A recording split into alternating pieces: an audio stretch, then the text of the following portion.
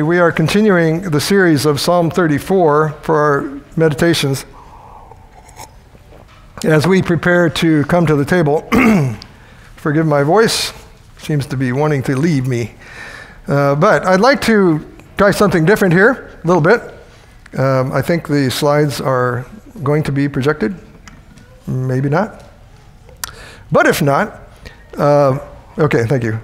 Um, what I'd like to do is I will read the um, I will read the inspired introduction to Psalm 34. It, is, it isn't on the slide.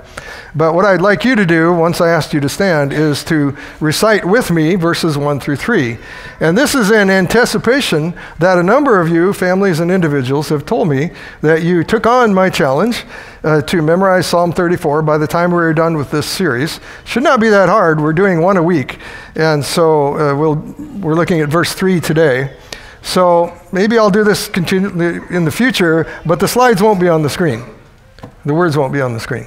So please rise. A psalm of David when he pretended madness before Abimelech, who drove him away, and he departed. I will bless the Lord at all times. His praise shall continually be in my mouth. My soul shall make its boast in the Lord. The humble shall hear of it and be glad. Oh, magnify the Lord with me, and let us exalt his name together. Oh, Lord, we, we praise you that we can even know that we are a chosen people. We are your people in order to proclaim your praises, who called us out of darkness and into your marvelous light. And Lord, we pray that you would enable us now by your indwelling Holy Spirit to learn from your word, to delight in it, and thus be conformed to the image of our Lord Jesus Christ, in whose name we pray. Amen. Please be seated.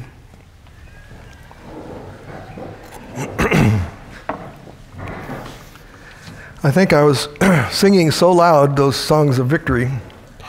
I'm starting to lose my voice. It's a good way to lose your voice, though. Well, last week we looked at verse 2 of this, and we saw that we, there are times when we should boast. There is a certain way that we are called to boast.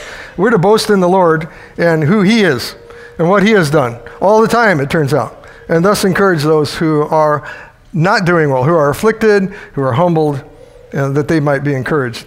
And when we encourage them by this kind of boasting in the Lord, we can then all together magnify the Lord and exalt His name together. We are commanded, we see that in this verse. This is the blessing that we have, dear family, every Lord's Day when we worship together. We do this. We boast in the Lord together. Whether we're conscious that I'm boasting now, that is what we're doing. We are magnifying Him together. And we're exalting His name together, and we're learning to do that.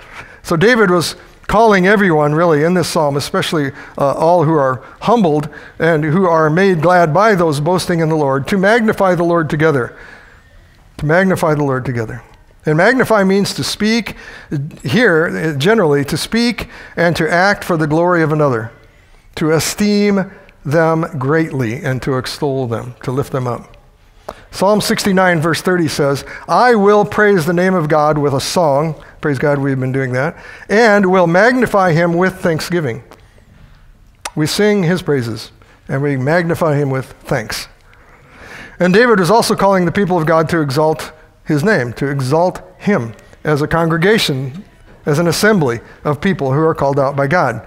Psalm 122 says, I was glad, David said, I was glad when they said to me, Let us go into the house of the Lord. He longed to be there.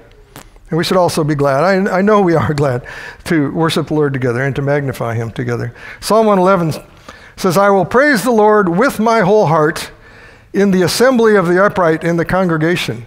I believe we learn how to, what that means to praise Him with our whole heart together. To exalt means to hold someone up very high, and when we exalt His name, we are praising His character, we're praising His works in history, and we have the joy of doing that in the assembly of the upright. We praise God, praise God when we think of those who are under persecution. They don't assemble like this in comfort. They can't even hardly assemble, many, many places. But praise God, we can. And we're to exalt his name, magnify his name.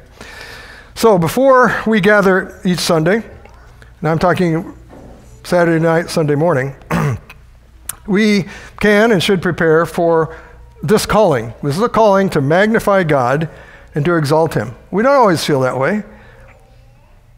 So, first of all, I would suggest being faithful in our individual worship, in our personal daily devotions, in our quiet times. To learn to exalt the Lord there, even if it's a short time, to exalt the Lord, to pray to Him in secret, as it says in Matthew 6. That kind of relationship with Him and to seek His face. Secondly, in family worship, where we learn again more how to exalt him uh, together. In fact, it's a training ground in a sense. We're training, certainly parents are training children in this, training our children, but really we're all being trained. And then before each corporate worship, uh, it's helpful, I believe, to pray, uh, maybe Saturday night or, or, Sunday morning or both. Uh, pray that the Lord would prepare your hearts I believe, frankly, that is part of what it means to come to the Sabbath day, is that kind of preparation of heart. And ask the Lord to prepare you in your heart and prepare the hearts of others around you, to have hearts ready to uh, magnify Him and to exalt Him. We can't do that in the flesh. And it's also helpful to read the, the passage of Scripture. I think most of you, many of you, do that. When I send out the announcements on Tuesday, you see the Scripture, you start reading it then maybe. Many, of, many more of you uh, read it when I send out the bulletins, and you know the Scripture, and you look at it. And we used to ask our family, well, what do you think Pastor Phil is going to say on this passage? And eh, a lot of times we didn't get it right, but anyway, it made us think Think about what is this word? We have to think about the word in advance. The, the confession, chapter 21, says this God is to be worshiped everywhere in spirit and truth, as in, first of all, private families daily, and in secret, each one by himself, more solemnly in the public assemblies, which are not carelessly or willfully to be neglected or forsaken. And so coming here to worship together is such a huge blessing. Let me just mention three very briefly as we come to the table to exalt his name. First of all, we are blessed because we get to stir each other up to love and good works. We are the, the flame is fanned here, and we help each other in that. We need each other, dear, dear people. We need each other each week to be built up in love and good works. Uh, much more probably than we usually recognize. Secondly, we are blessed when we realize again that we are part of His body. We're part of this body, and we are not alone. We need each other, and we are part of a universal assembly, praise God, uh, with a great cloud of witnesses that have gone before us. And then finally, we are blessed as we exalt His name together each Lord's Day, because we are preparing for doing so forever in our eternal home. And so let's come, dear family, let's come to this table the table of the Lord, to magnify him from our hearts, to magnify the one who died for us, and exalting the name of the Lord who rose from the dead in victory over sin and death. Oh, magnify the Lord with me, and let us exalt his name together. Dear Heavenly Father, you are worthy of all to be magnified and adored. And your name is to be exalted forever. And Lord, we thank you uh, for each Lord's Day when we can assemble. Each day you've called us to do that by your grace in order to praise you and to grow in worshiping you in spirit and in truth together.